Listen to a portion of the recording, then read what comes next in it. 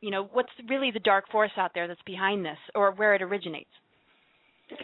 You know, that is such an incredibly complex question, but I think in in terms of just trying to sum it up because I know that in the beginning stages before my training with the Guardian Forces of seeing some of the things that were happening on this planet, um, which I consider crimes against humanity. You know, I didn't believe in a quote unquote satanic figure either in my in my earlier years until I was taken and shown things uh, multidimensionally through remote viewing or sleep state, which were were absolutely mind-boggling to really try and get a grasp of how this infection has come to planet Earth the way that I would describe it is that this planet, uh, you know, obviously is a part of a construction in the mechanics of creation that was built within a polarity of form. So there's nothing wrong with polarity, and there's of course really nothing. There's nothing in terms of a judgment that is cast between dark and light. What happened to this planet, though, however, is that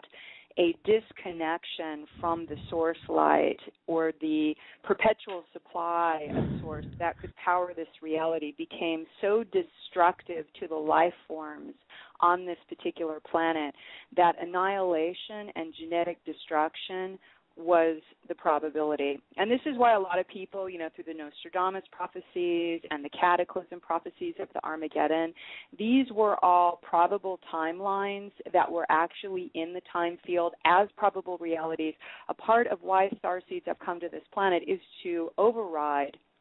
and to circumvent those timelines. So a lot of people don't understand that timelines can be circumvented by our own consciousness, choice, and participation with those time fields. What the negative aliens don't want us to know is that we can participate with that. They want us to believe that it's God's wrath of Armageddon or Satan's rule or whatever it may be, so that we're scared and we're in fear and we feel powerless little humans that can't do anything. And that's all, again, a part of that superior and elitist attitude that these Orion groups and other beings have. So it's like saying, you know, bullies in the universe took advantage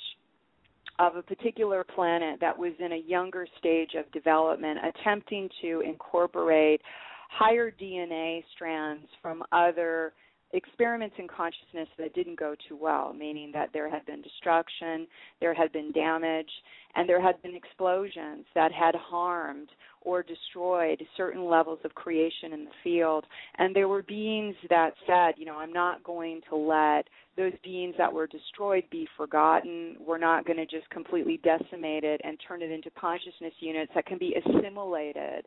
you know, into the substance of source. We want to protect those genetic histories and materials for those beloved beings that have lost their histories. And that's what the guardian forces and and this this um, return to Christ coming to the planet Earth is really about is the reclamation of our history that is galactic, meaning human beings are from the stars. These were beings that are entities that actually uh, took advantage of this planet because they saw that the beings here were not aware of sacred spiritual sciences, that the beings on planet didn't know necessarily how to protect the stargates that were opening into other dimensions, and they basically massacred all the beings that did know how to do that when we know the indigenous peoples, the aborigines, and the many, of course, indigenous cultures that have been decimated by white Aryan forces from you know the east or from Europe, you know this was all purpose to kill those beings that held sacred knowledge in themselves that knew how to open stargates, that knew how to connect with nature, that knew how to connect with the planetary brain and communicate with the elementals and forces of nature. Because humanity here was originally built as a guardian of the planet and naturally to protect again the resources of this planet to protect the life forms of this planet. So they basically came in and there were stages of that particular invasion of planet. And it's basically you know a conquering mentality divide and conquer and take it over. You know there is a saying you know he who conquers you know writes the history. And that's exactly what's happened here. We have been told a history a falsity for 5,000 years because 5,000 years ago is when the final foothold of the negative alien control of stargates and the planetary brain occurred. They started reverse scrambling our DNA at that time so that we would be disconnected from the earth and disconnected from our truth, and then simultaneously started massacring anybody on the planet that had access to that truth or was hiding that truth in some way. Because again many of us i'm sure even listening to this can have memories of you know the persecution complex we may be attempting to get over in ourselves because we many light workers and light beings have been murdered and massacred for many eons of time attempting to hold that truth for this planet so it wouldn't die on planet earth. And that of course was a part of the negative alien agenda in their control mechanism to create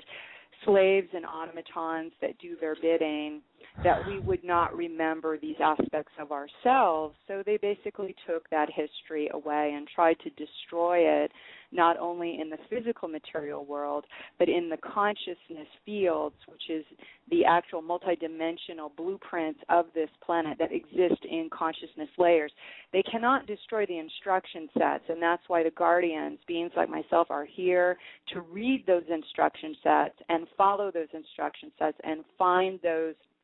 levels of blueprint and code and frequency and histories and bring it back into the physicalization of our planet because it's a part of the human race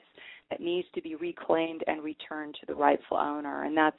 really what I call this timeline of, of sovereignty is really the return to rightful owner, that which belongs as the inherent divinity of each being is being returned as a promise of God, which is again the covenant of the crystal or Christ consciousness returning to our planet.